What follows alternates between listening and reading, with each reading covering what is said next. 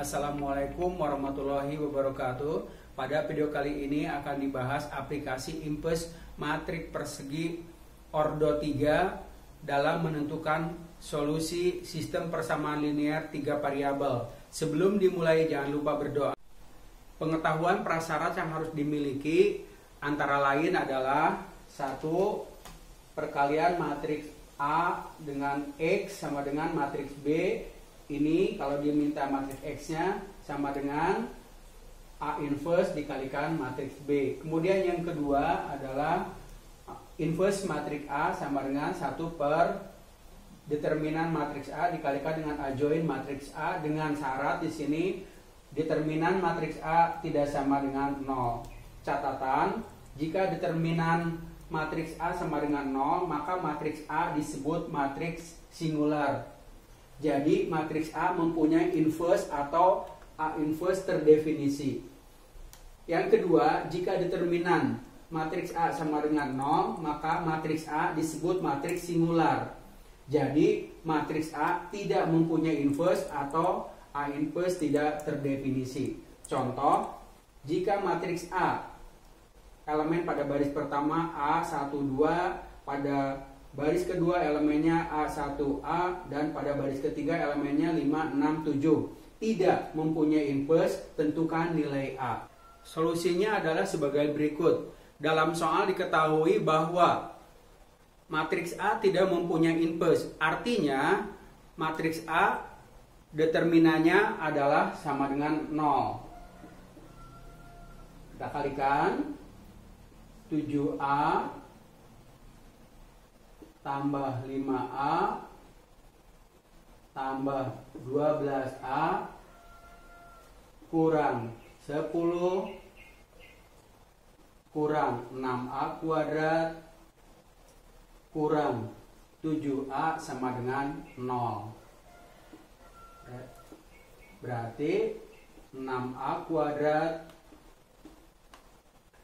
min 17A plus 10 sama dengan 0 kita faktorkan 6A A sama dengan 0 berarti di sini adalah min 2 di sini adalah min 5 coba kita kalikan.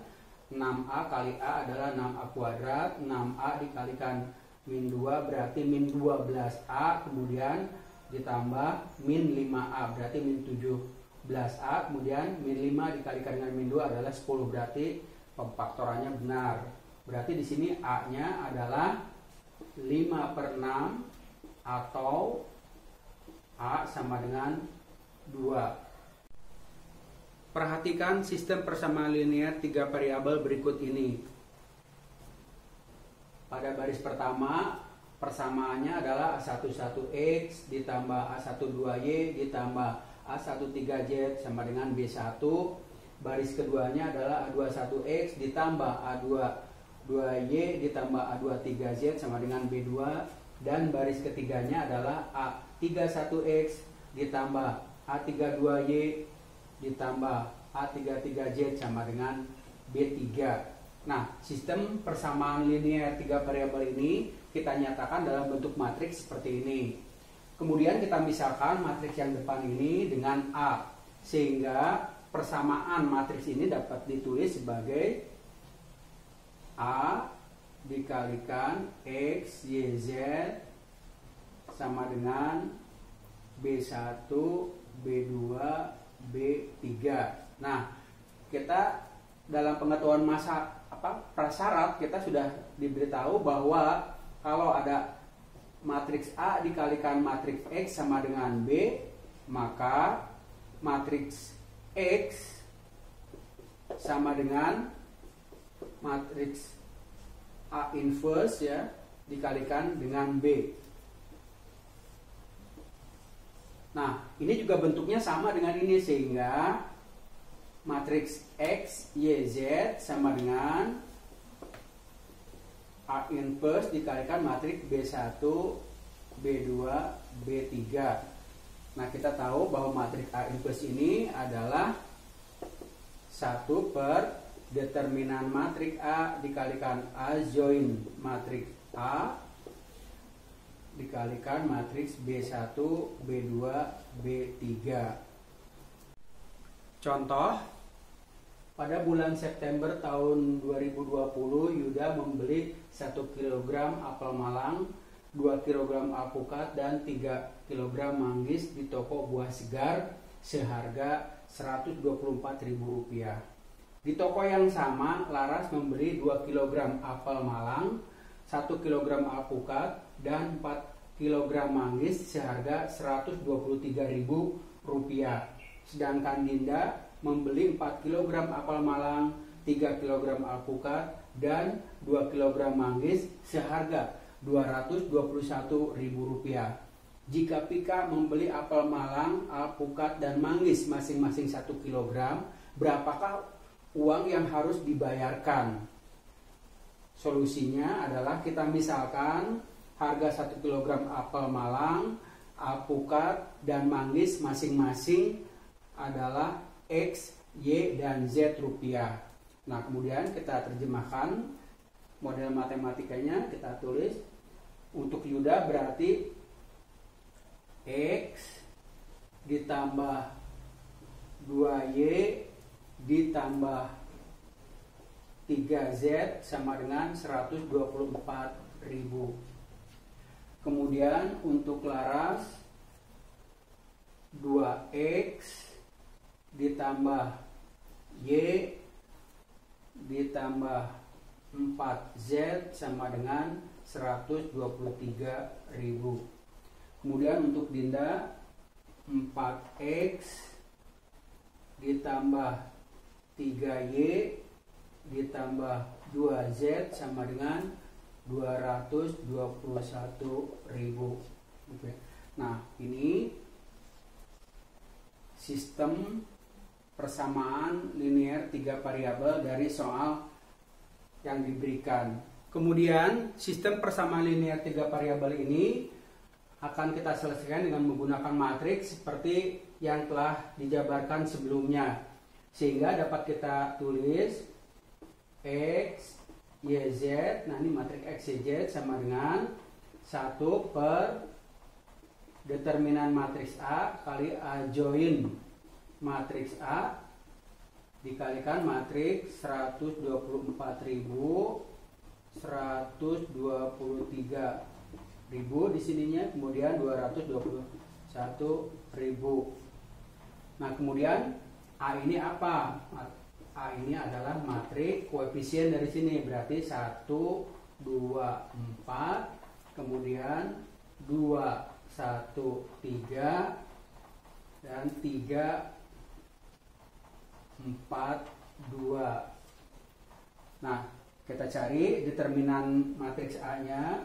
Determinan matriks A sama dengan 1 kali 1 kali 2 adalah 2 Kemudian 4 kali 2 kali 4 berarti 8 kali 4 adalah 32.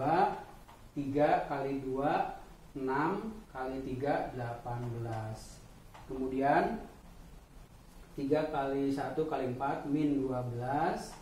Kemudian 3 kali 4 12. 12 kali 1 adalah 12 eh, tapi di sini min 12 juga. Kemudian 2 kali 2 kali 2 adalah min 8 ya. ini sama dengan nah kita lihat di sini uh, 32 tambah 18 adalah 50 52 52 kurang ini 24 dengan 8 adalah 32 berarti 52 dikurangi uh, 32 adalah 20 sekarang kita menentukan kofaktor-kofaktor matriks A untuk menentukan adjoin matriks A. Yang pertama adalah C11 sama dengan berarti positif. Coret baris pertama kolom pertama. Berarti tersisa 1 4 kemudian 3 2. Determinannya adalah berarti 2 kurang 12 adalah min 10 kemudian C12 negatif. Coret baris pertama kolom kedua. Berarti 24 42 2442 sama dengan min 4 kurang 16 4 kurang 16 itu adalah min 12 berarti 12 kemudian C13 coret baris pertama kolom ketiga. Berarti 21 ini positif ya. 2143 ini adalah 6 kurang 4 adalah 2 kemudian C21 ini negatif. Coret baris kedua kolom pertama. Cor.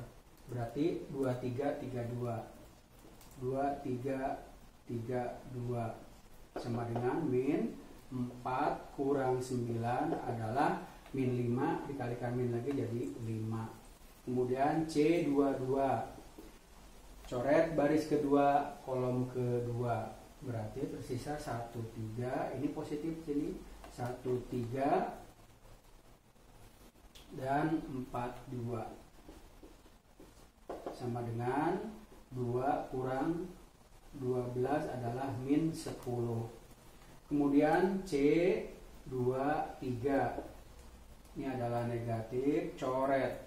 Baris kedua kolom ketiga. Ya berarti tersisa 1 2 4 3 1 2 4 3 min 3 kurang 8 adalah min 5 jadi plus 5 kemudian C 3 1 ini positif. Coret baris ketiga kolom pertama.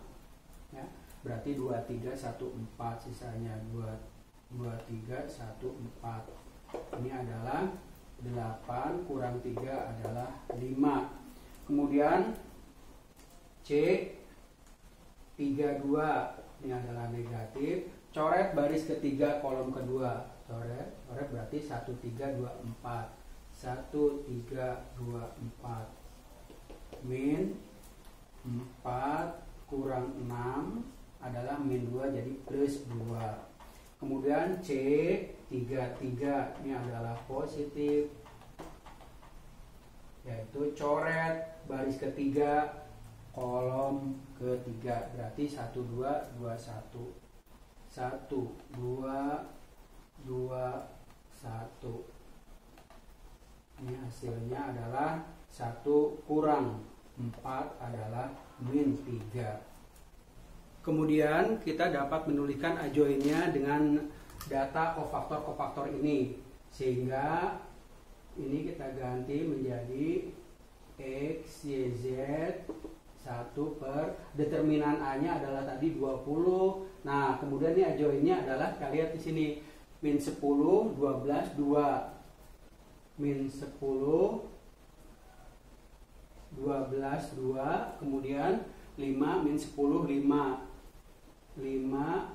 min 10 5 kemudian 5 2 min 3 5 2 min 3 nah ini kali 1 2 0 0 min 123 ribu 221 ribu. Nah kemudian kita kalikan ini sama dengan 1 per 20 kalikan 1 per 1 10 kali ini jadi min 1 juta 2 iya ditambah 5 kali ini apa 123.000 adalah 615 kemudian ditambah 5 kali 221.000 adalah 1 juta 105 ribu ya. Nah tutup. Kemudian 12 kali 124 ribu itu adalah 1 juta 488 ribu. Kemudian 10 kali 123 ribu adalah min 1 juta 230 ribu kemudian ditambah 2 kali 221.000 adalah 442.000 ya. Kemudian 2 kali 124.000 adalah 620.000 kemudian 5 kali 123.000 adalah 615 kemudian 3 min 3 kali 200 221.000 adalah min 663.000 ya. kemudian X, Y, Z sama dengan 1 per 20 nah ini setelah dijabarkan ini diperoleh hasilnya adalah 480.000 yang ini adalah 700 ribu. Dan yang ini adalah 200 ribu.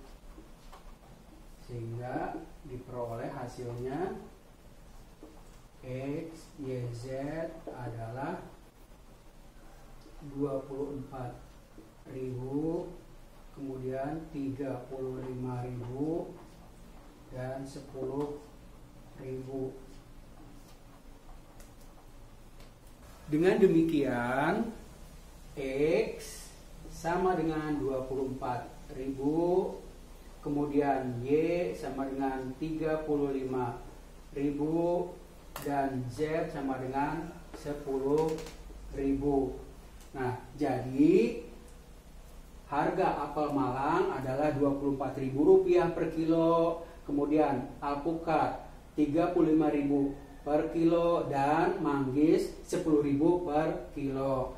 Dengan demikian, Pika harus membayar sebesar karena dia membelinya satu kilo satu kilo untuk setiap item ini, jadi 24.000 ditambah 35.000 ditambah 10.000 ini adalah 69.000 rupiah.